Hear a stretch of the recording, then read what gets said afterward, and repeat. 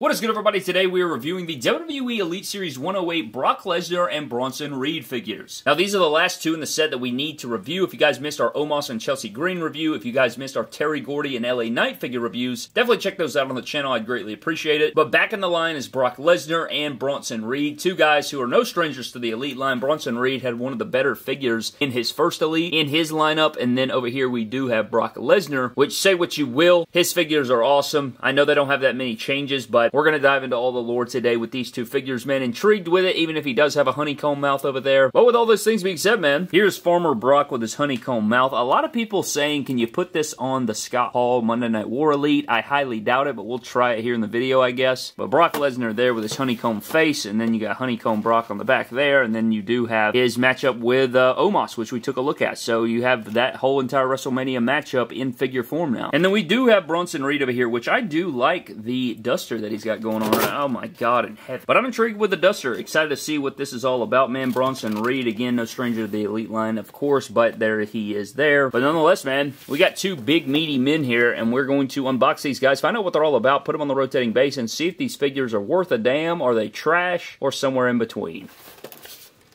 So here's Elite 108 Brock Lesnar and Bronson Reed out of the packaging, man. I'm liking these figures for what they are. I do have my gripes with both of them, which we're going to, of course, get into in the review here, man. But two meaty men going at it here in the review. Which one is better? You can chime in down in the comments section below. It's very intriguing. I feel like somebody over at Mattel is a big Bronson Reed fan, and I'll explain those things as we get into it, man. But I do have my gripes about these figures, like I stated, so we're going to do all that stuff, man. Let's dive into Brock Lesnar's accessories and the Brock Lesnar figure, and then we'll run it back and take a closer look at Bronson Reed's accessories and the Bronson Reed. Alright man, so for Brock Lesnar's accessories, you get a rubber entrance vest, a cowboy hat, and some interchangeable hands. And for whatever reason, man, I get this question a whole lot. I guess it's because they're trying to figure out if they want to put this on their Scott Hall figure, and we'll do that when we get into the comparisons just so you guys can see. But this one's larger than the other one, I can tell you that. It's got some nice rips in there. Reminds me a lot of like the heavy machinery entrance vest, if I'm not mistaken, if that's what that was. But it does have some cool dry brushing detail in there and everything like that. So Mattel was capable of it. They just didn't do it on the Scott Hall. Kind of flat on there, but it does have some nice sculpts on it, and it's got the rips around the rims there, so that's pretty good. Not not too bad there. At least it's an entrance vest, and it's not going to hinder anything for you. And then he also comes with his black cowboy hat. Now, we have seen this on a couple other Brock Lesnar's in the Elite 99 and whatnot, but uh, this looks good, and it fits the figure well, so that's always a good thing to see, you know? You like to see the cowboy hat fit the figure here. I think I got it backwards. There we go. And it fits on there really good with his honeycomb mouth, man. Jesus. I hope that people get that reference. Okay, so does it even fit well? Thought it fit well. Now it's like kind of falling off there. Okay, it, it fits somewhat decent there. I think it accomplishes what it needs to for the most part. And it took a long time, but we finally did get fists for our Brock Lesnar's in the UFC glove mold with the black pegs here, which look really good, so you can beat the hell out of you. Got the Lesnar written on there, of course. Then you have the mic holding mold or the weapon wielding mold here, which is essentially the same thing, except a different shape there of the hand, so you can hold different objects, and then he does have the black pegs, so that's good, but he does have Lesnar on the back again. Man, getting into the head sculpt, we do have the honeycomb mouth Brock Lesnar. Now, if people don't get that reference, man, back in the early 2000s, mid 2000s, the honeycomb cereal had these damn commercials where I guess like the kids would get honeycomb mouths, is what they would call it, or like you know their mouths would get massive and they'd eat the honeycombs or something like that.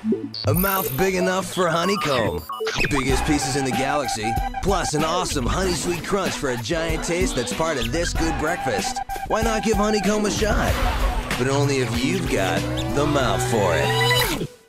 Big Mouth's wanted. Just littered the damn airwaves, man. I mean, Jesus Christ. It was like every show you watched, there was damn honeycomb mouth commercials just going crazy. But honeycomb cereal's damn good. Might go buy a bowl today just, just for this video, just in celebration. But Brock Lesnar, he is doing that like cocky smile laugh, which we've known, you know, come to know. But I feel like the mouth just is too big. Something's off about this head sculpt, man. And we have seen this in some basic figures, and now we have it on this Elite. And I don't know, it's like the shape of the mouth at the bottom right here looks weird, the bottom lip. And we've We've seen this on Randy Orton and RVD too, where it just looks odd. Their mouth open just doesn't look natural. It doesn't look like the character. And here, it just looks weird to me. It just doesn't look natural. And I don't know, you guys can let me know what you think of that down in the comment section. But the beard's nice. I like everything else about the head sculpt. I just don't like the facial expression, I guess. But same Brock Lesnar torso, same Brock Lesnar arms and tattoos and everything going on here. Not anything that is out of the ordinary or different. Skull graphic on the butt. You know, the, he has one of the most iconic tattoos of all time, and the graphic looks sweet on the shorts. They did add some details here in the skulls that they left out on some other figures, but he does have the pinless legs and the black boots. And this Brock Lesnar has a little bit like looser legs than other Brock Lesnar's I've seen, but you know, the tight knees, hate to see it, but he can kick forward. He is on ball joints, so that is something to note here, but it's the typical articulation you come to know with Brock Lesnar. It's nothing to shatter the earth with, but you know, he can pose around pretty damn good, but I would still recommend the Ultimate Edition over this Elite, even if you have to overpay or what have you, but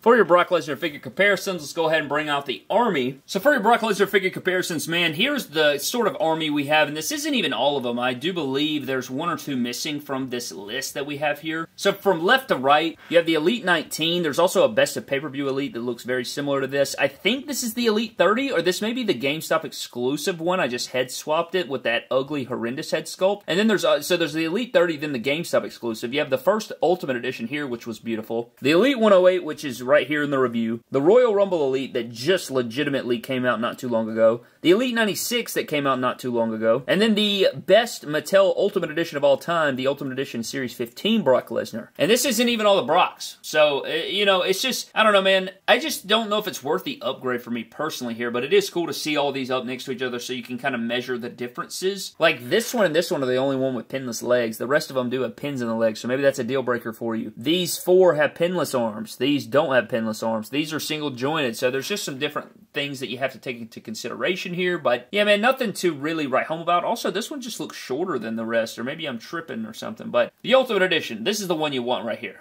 Avoid every other Brock ever. Just get this one. And then for your former Brock figure comparisons, here is the new Elite 108 up next to the Tribal Chief versus Beast Incarnate 3-pack Brock, the Elite 99 Chase, and the Elite 99. So yeah, there's all the different Brock Lesnar's, man. Just include, like, dude, there's so many damn Brock Lesnar figures. Need to do a ranking on him. Let me know if you guys be interested in that. But now, let's go ahead and put this damn vest on this Scott Hall so you guys can see exactly what that looks like and see if that's something that maybe you want to do there. So here is our Scott Hall figure here. Let's move these guys back some and then we'll get into it. So here's our Scott Hall. First of all, it's going to be way too light in comparison, but I don't know. This may be something that you want to do. I don't know. But it's definitely oversized for sure compared to the other vests, but there you go. Very underwhelming in my opinion. It just it, it, just looks stupid to me. I don't I don't like it at all. But if that's something you want to do there, you can also watch Action Figure Surgery and I'll show you how to dry brush this one and make it look, you know, way better. So th this is definitely better. I don't like this one on here. Just looks dumb.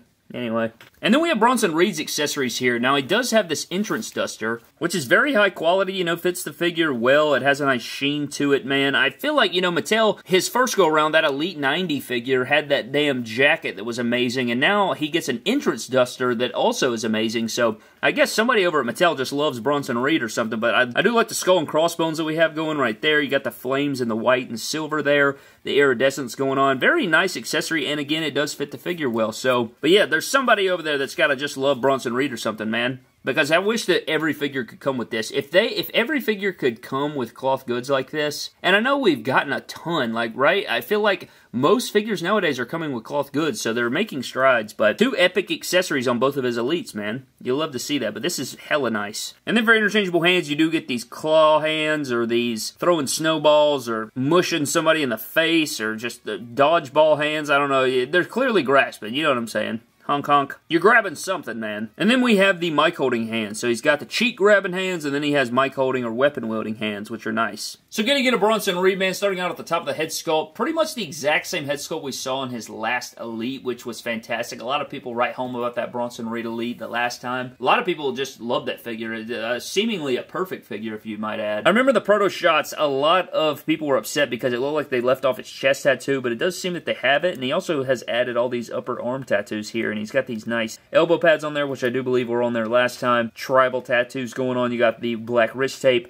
Really like his gear. Again, kind of a repaint of his last figure. You know, some added additions of tattoos and graphics. But for the most part, it's essentially a repaint there. But you do have the black, green, and white, which looks really good. Got that skull on there, which I like. And then he does have his thick boy thighs there. He is on ball joints, which we'll get into. But he does have the large knee pads instead of the smaller ones this time. And they have added some leg tattoos here, which are essential, man. Gotta have the leg tats. I'm working on getting me some. I don't have any yet, but I do have, you know, the rest there. But short black boots And that is essentially your Bronson Reed figure. I mean, uh, dude, this figure does move quite well, all things considered. Like, he can kick forward pretty decent there. He's got a decent split there. My legs were all jacked up out of the packaging, though. I try to plug in a, a, a photo of that. But this Bronson Reed's pretty damn good, man. And if you bring up his Elite 90 comparison, it's kind of pick your poison. I don't know why this one, why is this one slightly taller? What did they change? Did they change something here? Hold up. These are, are these, no. Everything looks to be the same here. I don't, I don't really know why this one, or maybe I'm just tripping, or maybe it's the angle of the camera or something like that. I don't know what's going on here, man. It's the same head sculpt, it's everything. I don't know, but I prefer the Elite 90 over this one up here. I just like the gear better. I like the jacket over the Duster. So that's just where I stand. I don't know if it's worth the upgrade to you, but that's just where I, I I'm team I'm team Elite 90.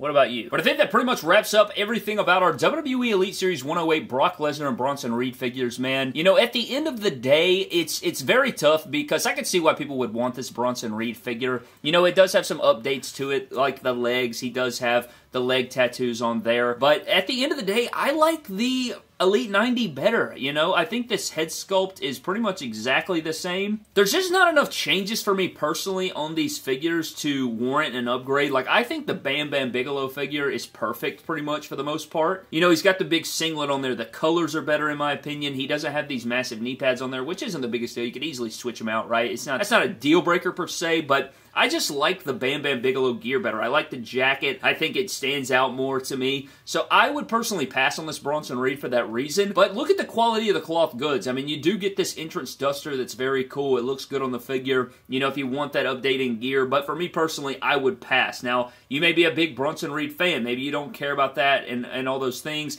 And I know last time, didn't he have, you know, he had like the painted on thing or you know, he doesn't have as many tattoos as he once did and what have you. So, you know, maybe you do, you know, you want to warrant the upgrade, but if you're wearing that Bam Bam jacket, you can't even see the tattoos anyway, so that's just my personal take. I think his first figure was better to me, but this is certainly a, a cool upgrade, a, a cool, similar to the Omos figure, right? It's kind of like, yeah, it's a cool upgrade, but is it worth that? That's going to be up to you, you know? Is it worth the upgrade? That will be up for your, you know, discretion there, but I personally do prefer the Elite 90. As terms of the Brock Lesnar figure, completely skippable. Wouldn't even look at it. I would not even, like, I, I, I just wouldn't. I, I don't like the head sculpt, and besides that, I, I just don't really care for it, man. I mean, there's certainly better Farmer Brock figures, right? Quote unquote Farmer Brock. I know he does have the braid here, but I don't like this honeycomb mouth that he comes with.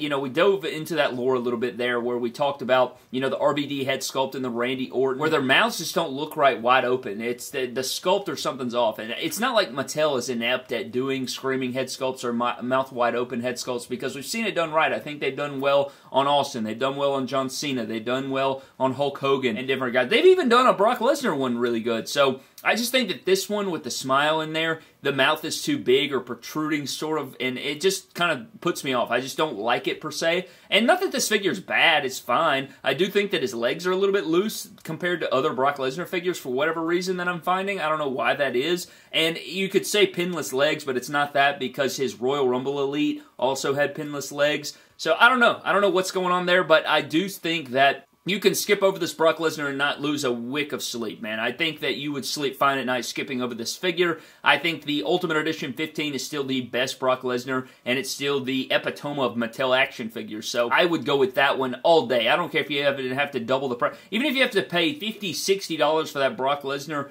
Ultimate Edition, I would pay that over this one right here. And also, you know, you don't really get any groundbreaking accessories in my personal opinion, so I don't know. That that's just what I feel about this figure, man. So you guys can let me know what you think of Elite 108 Brock Lesnar. I just think there's so many others that you could choose from that would be just as good, if not better, than this one. And this head sculpt's worse. So I, I, I don't know. I just wouldn't personally get this one if I were you. Nonetheless, you know, if you like pinless joints and all that, then maybe you do want this one. But I still like the Royal Rumble Elite with the kind of sleepy Brock face over this one. And I don't know. That's just me. That's just me, Brad. But if you guys want to pick these figures up, you can do so over Ringside Collectibles. Use promo code MD Toys to save yourselves 10%. Would greatly appreciate that, man. Always appreciate the support on the channel, man. Getting closer and closer to WWE World, man. I, I am beside myself. I'm so hyped. Cannot wait to see exactly what we get out there, man. But nonetheless, that is going to wrap the review on Elite 108 Brock and Bronson. Let me know where you stand on these figures down in the comment section below. Follow me on Instagram, Twitter, and TikTok at My Toys. And also a huge shout out to our Patreon members